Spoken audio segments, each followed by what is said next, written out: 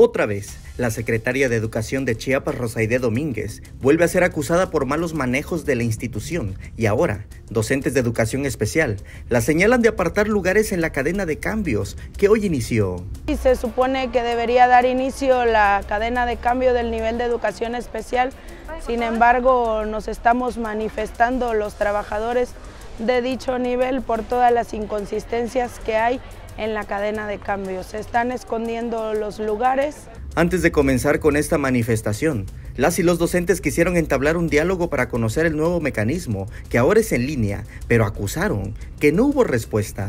Sin embargo, la jefa del departamento no llega a trabajar los días lunes y hoy quiere imponer una cadena de cambio basada en una convocatoria que firmó la secretaria de Educación sin embargo, hay arbitrariedades en esos puntos de la misma convocatoria, es decir, una jefa del departamento está pasando por sobre la autoridad de la Secretaría de Educación del Estado de Chiapas. Este día, un empleado de la Secretaría únicamente salió a darles un código QR para hacer una fila virtual y empezar con el trámite. Hay lugares que nos están escondiendo también y todos queremos llegar a nuestro hogar, eso es un hecho. está haciendo él? Está compartiendo un QR para poder entrar de manera virtual a la cadena de cambios.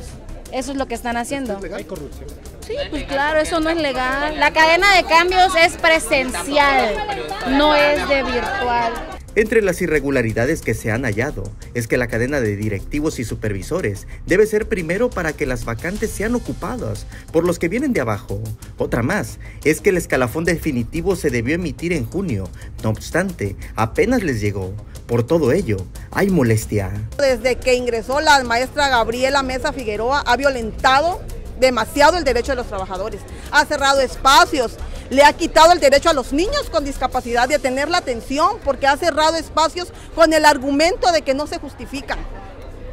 Le dio plazas a sus compañeros que estaban ahí en el nivel y los tenía comisionados, cosas que están en contra de la normatividad. Sin embargo, ella dice sí que se cumpla la normatividad, pero no la cumplen. Con imágenes de Christopher Canter, Samuel Revueltas, Alerta Chiapas.